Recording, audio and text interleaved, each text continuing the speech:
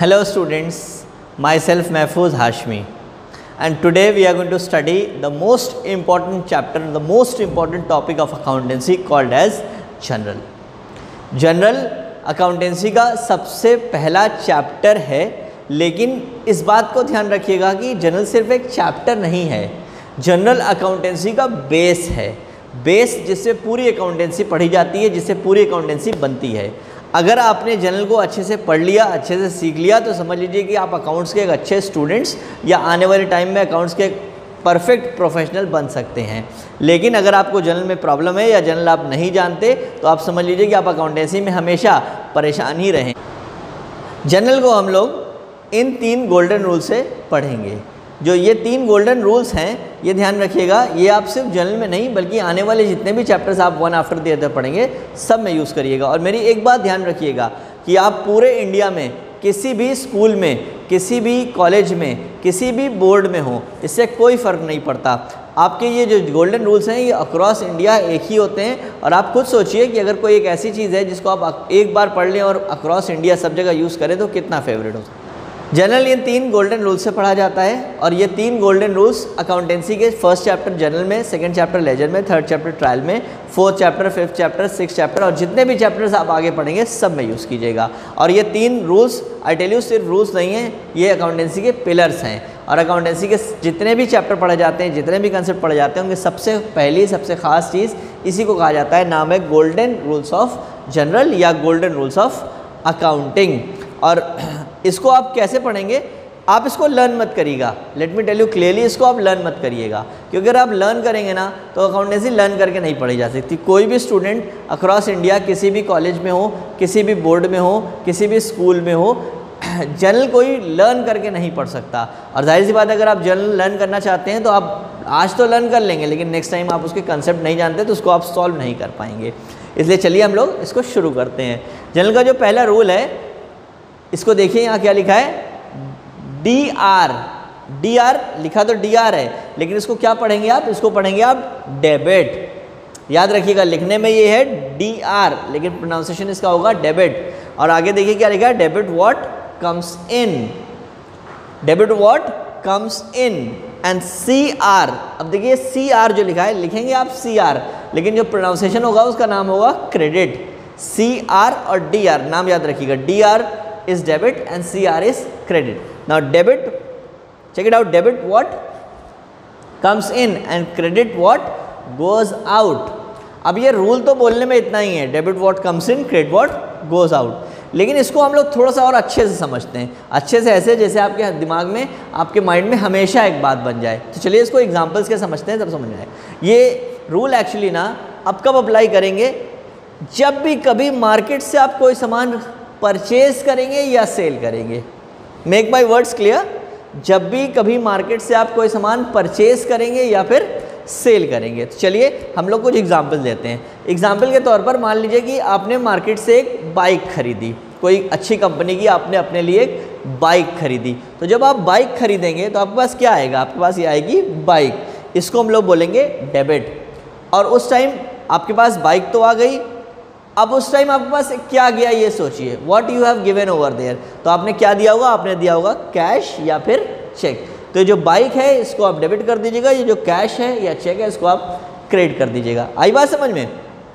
एक और एग्ज़ाम्पल ले लेते हैं, थोड़ा डिफरेंट एग्ज़ाम्पल मान लीजिए कि आपने कोई बुक्स खरीदी। मार्केट में बुक्स एकेडमिक्स बुक्स भी होती हैं अदर बुक्स भी होती हैं। तो मान लीजिए आपने कोई बुक्स खरीदी। तो जब आपने बुक्स खरीदी तो आपके पास क्या आया? सोचिए ये आई आपके पास बुक्स आई ना? अब बट ऑफ़िस माइंड में आपको सोचिए कि आपने बुक्स मार्केट से गए और मार्केट से आपने कुछ बुक्स खरीदी। तो आपके पास क्या आया? आपके पास आया बुक्स तो बुक्स विल बी डेबिटेड और ज़ाहिर सी बात है, उस टाइम आपने क्या दिया होगा? उस टाइम आपने दिया होगा cash the cash is credited आई बात समझ में? एक और अच्छा एग्ज़ाम्पल ले लेते हैं। दो एग्ज़ाम्पल दिए ना, एक बाइक का। बाइक आपके पास आई डेबिट और आपके पास क्या गया उस टाइम कैश या चेक दूसरा एग्ज़ाम्पल आपके पास क्या, आपने क्या परचेस किया? आपने बुक्स परचेस की। तो बुक आपके पास आई डेबिट और आपके पास क्या गया क्या? इसको आप समझ लीजिए, कहीं भी, कभी भी आप मार्केट सामान खरीदेंगे ना तो आपके दिमाग में एग्ज़ाम्पल आएगा कि हम लोगों ने इसको पढ़ा था। थर्ड एग्ज़ाम्पल ले लेते हैं इस टॉपिक का। मान लीजिए आपने कोई एक बड़ा घर खरीद लिया, कोई फ्लैट या एक बड़ा घर तो उस टाइम जब आपने फ्लैट खरीदा या घर खरीदा, ये देखिए तो उस टाइम आपके पास क्या आया? अब ज़ाहिर सी बात है फ्लैट या घर चल के तो नहीं आया, लेकिन उसकी ओनरशिप आई ना। उसकी ओनरशिप तो आपके पास आई, उसके पेपर्स तो आपके पास आए ना। तो ये फ्लैट या घर जो है, इसको आप डेबिट कर दीजिएगा। और आप उसके रिवर्स में क्या देंगे? रिवर्स में देंगे आप यही कैश या फिर चेक तो ये हाउस जो है, इसको डेबिट कर दीजिएगा और ये जो कैश या चेक है, इसको आप क्रेडिट कर दीजिएगा.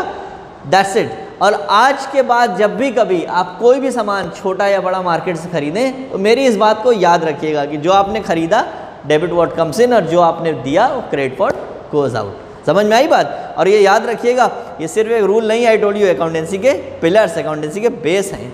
रूल नंबर टू पर आते हैं. रूल नंबर टू देखिए क्या लिखा है? डेबिट द रिसीवर वही फिर से डी आर डी आर मतलब डेबिट डेबिट द रिसीवर और क्रेडिट द गिवर अब इसको कब एग्ज़ाम इसको आप कब यूज़ करेंगे? इसको भी हम लोग एक थोड़ा सा एग्ज़ाम्पल में समझते हैं। मान लीजिए कि कोई दो लोग हैं। एक मिस्टर एक्स हैं और एक मिस्टर वाई हैं। चलिए हम लोग एग्ज़ाम्पल ले लेते हैं। ये है मिस्टर एक्स और ये है मिस्टर वाई अब मिस्टर एक्स ने मिस्टर वाई को कुछ पैसे दे दिए सेट टेन थाउज़ेंड रुपीज़ दे दिए। ठीक है? मिस्टर एक्स ने और मिस्टर वाई को टेन थाउज़ेंड रुपीज़ दे दिए। देखिए, मिस्टर वाई मुस्कुरा रहे हैं क्योंकि उनको पैसे मिले हैं और ये मिस्टर एक्स हैं, इन्होंने पैसे दिए हैं। तो ज़ाहिर बात है एक्स ने वाई को दिए। तो अभी आप ये बताइए कि किसको पैसे मिले? मिले किसको? मिस्टर वाई को। तो Y will be debited because of this rule बात समझिए डेबिट द रिसीवर बोला था ना? तो डेबिट द रिसीवर किसको पैसे मिले? मिस्टर वाई को। ही विल बी डेबिटेड और किसने पैसे दिए थे? क्रेडिट द गिवर गिवर कौन थे? मिस्टर एक्स थे।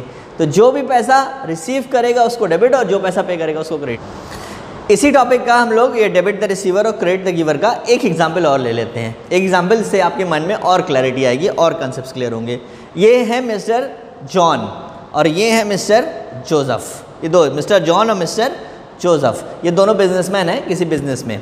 अब मिस्टर जॉन ने मिस्टर जोसफ को कुछ पैसे दे दिए। अगेन देखिए, मिस्टर जोसफ मुस्कुरा रहे हैं क्योंकि उनको पैसे मिले लेकिन अभी वापस भी करना पड़ेगा रिमेंबर मिस्टर जॉन ने मिस्टर जोसफ को पैसे दिए।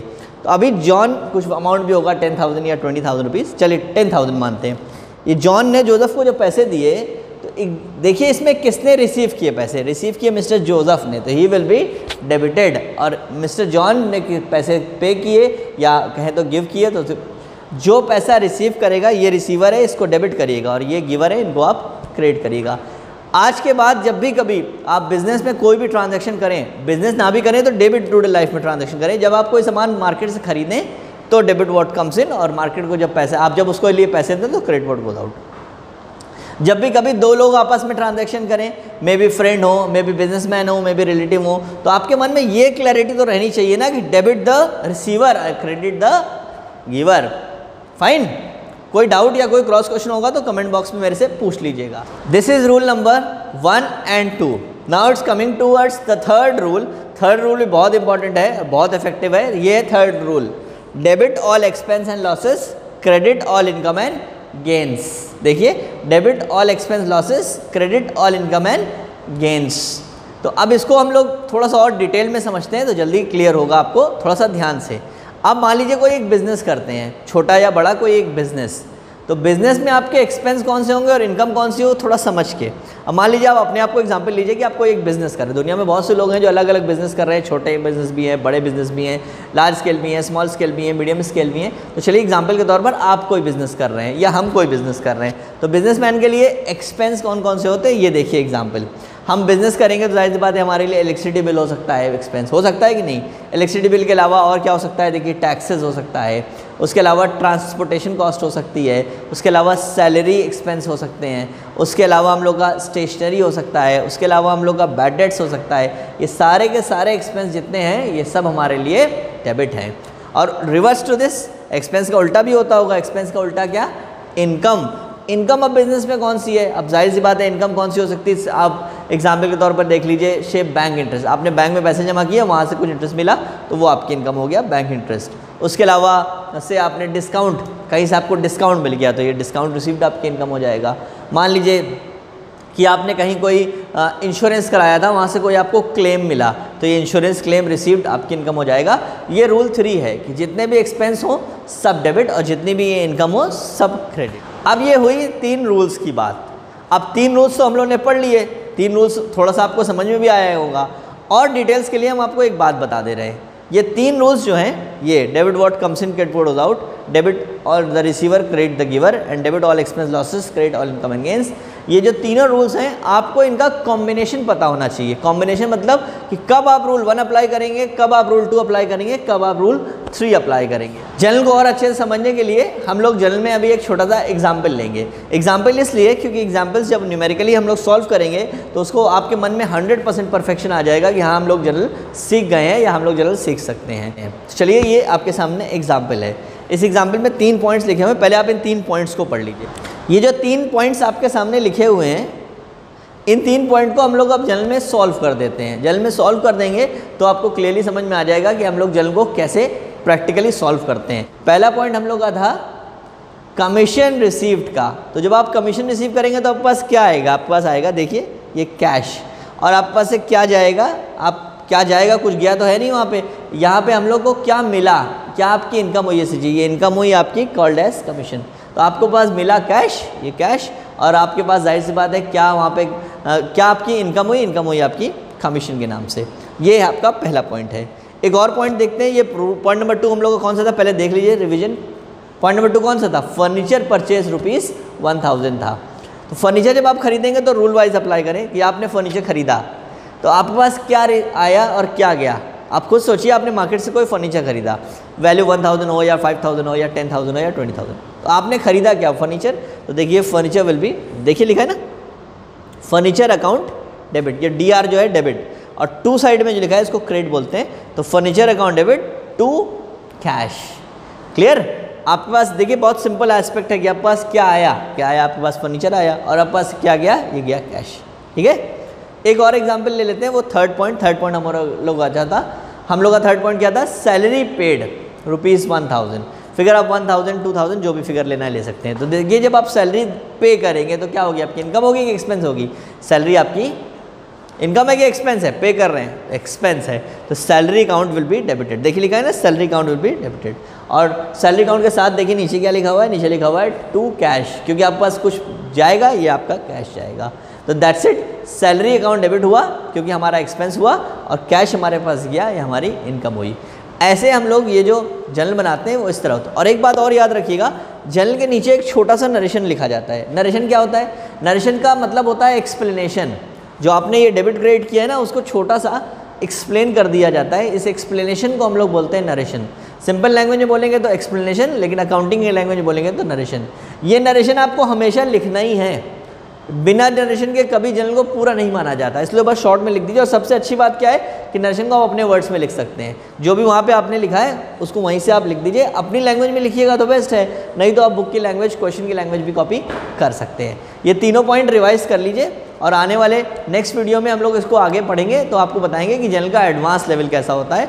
ये जनरल का बेस लेवल जो था, अब आप जनरल कभी भी पढ़िएगा तो इन्हीं तीन रूल्स को अप्लाई कीजिएगा, जो आज हम लोगों ने डिस्कस किए हैं। और मेरे चैनल को सब्सक्राइब कर दीजिए, उसमें बेल आइकन दबा दीजिएगा, ताकि आपको मेरे videos as soon as possible मिलते रहें। और मैं आपसे एक बात की प्रॉमिस करता हूँ कि अगर आप मेरे वीडियोस को रेगुलरली फॉलो करते रहेंगे रेगुलरली वॉच करते रहेंगे तो आपको अकाउंटेंसी में कहीं भी, कोई भी टॉपिक में प्रॉब्लम नहीं आएगी। आप पूरे इंडिया में किसी भी बोर्ड के स्टूडेंट हो, किसी भी स्टेट के स्टूडेंट हो, किसी भी शहर में हो, किसी भी विलेज में हो आई डोंट केयर हमको इससे कोई प्रॉब्लम नहीं है, इसलिए क्योंकि जनरल ये जो आप पढ़ रहे हैं अकाउंटेंसी उसमें जनरल भी है लेजर भी है ट्रायल बैलेंस है ऑल ओवर इंडिया सबका सेम ही है। और कहीं पर भी कोई भी प्रॉब्लम कोई भी कन्फ्यूज़न लगे तो कमेंट बॉक्स में मेरे से पूछ लीजिएगा।